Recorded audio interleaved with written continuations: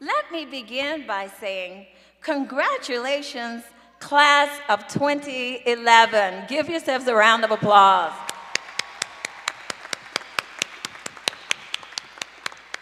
I, I also learned as I was waiting um, uh, that the lacrosse team did win, and so some of your classmates are over at RIT playing. Well, you heard in my bio that I'm on the board of RIT, so the best I can say is, may the best team win. I am honored to be here to mark this momentous occasion with faculty, family, friends, and of course, the class of 2011. But I do hope that I can share one or two things that will resonate with you and stay with you. One thing I know is that what you really want is brevity. That makes you a challenging audience, though, because I am one of the few things standing between you and your special moment to walk across this stage and receive your well-deserved degree. I think back to my undergraduate commencement, and frankly, the memories are a bit unfocused. Now, that's hard for me to stay, say standing here as a former Kodak person. Nothing's supposed to be unfocused. But reflecting back brought to mind something that I ran across, which said, you know you've been out of college too long when the undergraduates have always had voicemail. They've always had cable, or rather satellite TV. They cannot fathom not having a remote control, and popcorn has always been cooked in the microwave. You also know you've been out of college too long when they don't have a, a clue as to what a typewriter is, let alone a Mimeo machine. But I hope they at least know what it is. So parents, are you starting to feel a little too old? Well, don't. I prefer to think of it as timeless. But as Mark Twain said, age is an issue of mind over matter. If you don't mind, it doesn't matter. I like to think of age as another way of saying wise, and I assume that is why colleges ask people like me to give a few words of wisdom on, at graduations. I called my friend Gaynell Weathers, who heads multicultural affairs here at Nazareth, and said, what would really interest college students? She was very helpful. Thank you, Gaynell. Graduates, you have spent the last two to four plus years earning a degree at Nazareth. While you have mastered the requisite coursework and skills for your profession, I know that Nazareth mission has also been to inspire in you the ideal of service to your communities. In fact, Nazareth invited you to study here in part because you fit their ideal of someone who wants to make a difference in your own world and the world around you. While here, faculty and advisors have encouraged you to develop understanding commitment, and confidence to lead a fully informed and actively engaged life. Now, leading an actively engaged life includes making a difference, as you've heard earlier. My first challenge to you is to become the change that you want to see. This is not to suggest that you're not making a difference already, but to encourage you as you enter this next chapter of life to continue and grow that focus. For undergraduates, you're leaving what I consider to have been the best years of my life. A great deal of freedom without most of the real world responsibilities. During my last two years of undergraduate study at the University of Toledo in Toledo, Ohio, I worked full time, went to school full time, lived at home, but I paid no rent, I bought no food. I paid no utilities. I just took care of my own personal expenses. That probably resonates with you. Well, I'll tell you, I haven't seen those days since, and neither will you. It didn't get easier. When I later went back for an advanced degree, I was a single parent, and babysitters were not in my budget. While I was in classes, my young son often played in the corridors outside of my classroom, and that's a true story. But we made it. It is now your time. You have been prepared to handle new challenges and make your mark on the world in the coming years. In preparing for today, I wanted to excite you with information about future trends. But a few hour, after a few hours of research, I decided that you really did not want to hear about the emerging global water crisis. Clean water is a global issue, though. You probably didn't want to hear about future changes in the U.S. national infrastructure either. Yet I do caution you, drive carefully. Crowded isolation and social hacking probably isn't of great interest today anyway. However, don't forget to guard your privacy. And what about super germs in the modern era? Started to talk about that, decided not. But I do suggest that you continue to invest in hand sanitizer. One futurist referred to the decade of 2010 to 2020 as the time of troubles, characterized by catastrophic changes of great magnitude, scale, scope, and size but I stayed away from that too.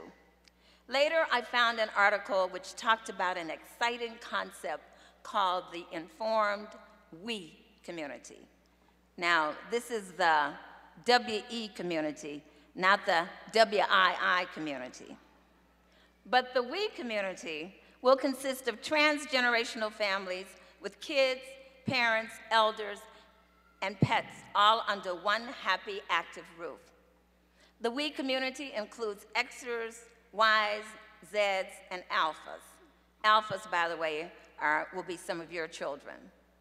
But let's not forget the SYLOs, or the silos.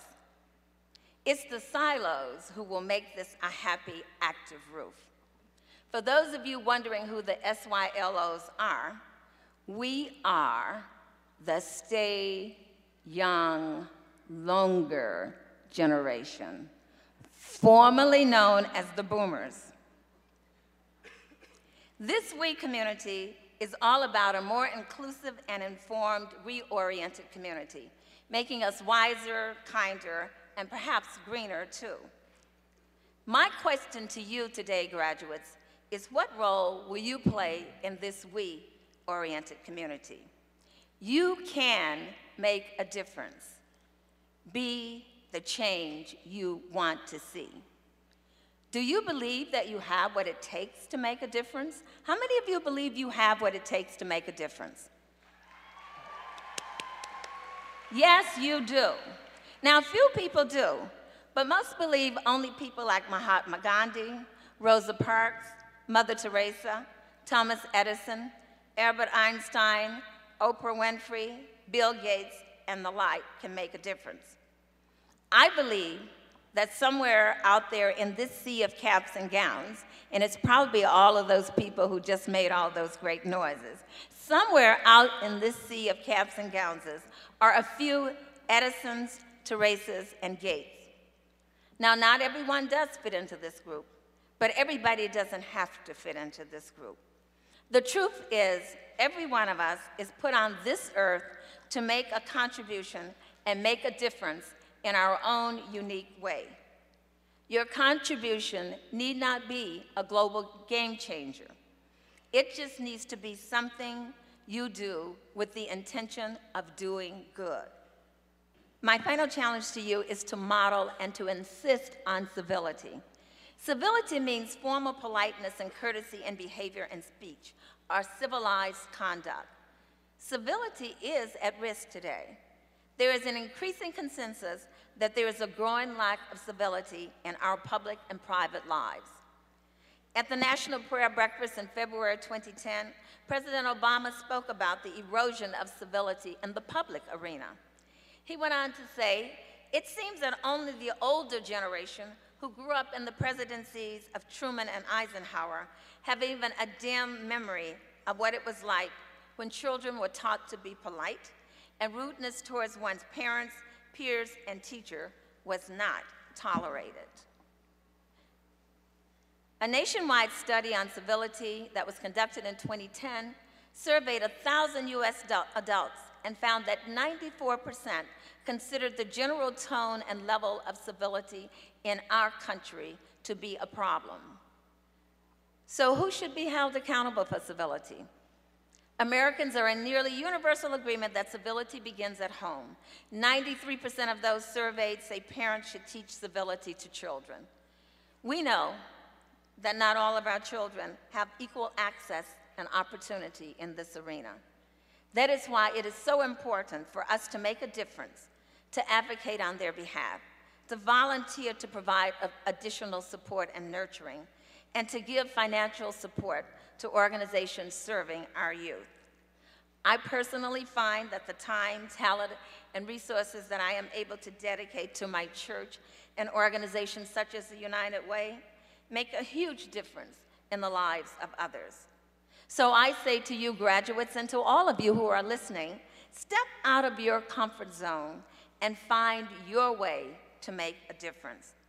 The unprecedented problems of today require the polite president of yesterday. We are moving, we are depending on you to help capture that quality and help move us to the next level. Find a way to promote civility, respect, caring, and understanding of each other. Let respect for the dignity of the individual guide our behaviors toward each other. Carry with you a personal level of caring for others that reflects a genuine concern, one that will not tolerate injustice, disrespect, or absence of love toward each other. A prominent news anchor once said that it is much easier to make a buck than it is to make a difference. Be the change that you want to see. We make a living by what we get, but we make a life by what we give. Be the change that you want to see. Screenwriter Suzan-Lori Parks puts it nicely when she wrote, and I quote, Believe that the sort of life you wish to live is at this very moment just waiting for you to summon it up. And when you wish for it, you begin moving toward it, and it in turn begins moving toward you. End of quote. Start now, graduates. You are ideally placed to lead change. There is no one best time to start to make a difference in this world. You don't need to wait until you have the time in order to share some love. You don't have to wait until you make more money to share your resources. Little efforts do count, and you can start making small contributions today. Make a difference. Be the change that you want to see. Thank you, and may God bless you and your families as you go out to make a difference in this world. Thank you. Congratulations, class of 2011.